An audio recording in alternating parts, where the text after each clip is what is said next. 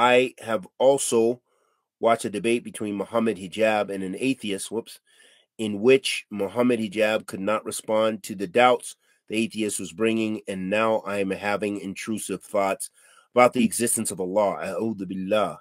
I am severely depressed, and this is destroying my life and not improving any and not improving any advice.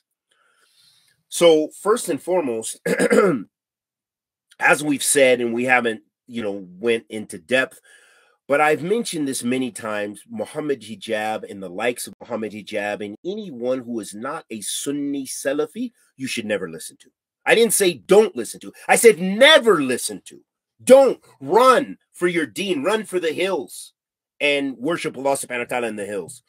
And I've said this, we've said this countless times. So this is my first piece of advice is don't listen to those people. Secondly, this also goes to the mafasid. If you go to what I just talked about a couple of days ago about debating and arguing, exactly. We talked about it in detail. And this is the mufasid. This is why the Salaf hated that. Why all those books like Usul Sunnah and all those other books, they hated that. Why? Mohammed Hijab gives a platform from for, for atheists and mushriks and shayateen and you know all these people, people who eat tear pages of the Quran and eat it. Come on. He's going to be responsible before Allah subhanahu wa ta'ala because he's a sabab. He's a reason that an atheist or whoever tears up pages of the Quran and eats it. He's the one who gave that platform. He's the one who didn't deal with it with knowledge. He's the one who encouraged. He didn't want that, but this is the this is the the outcome.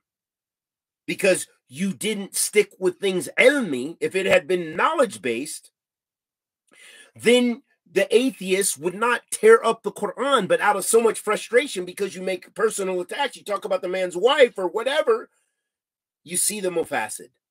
Okay, that's the second point. The third point is when it comes to things like OCD, you know, very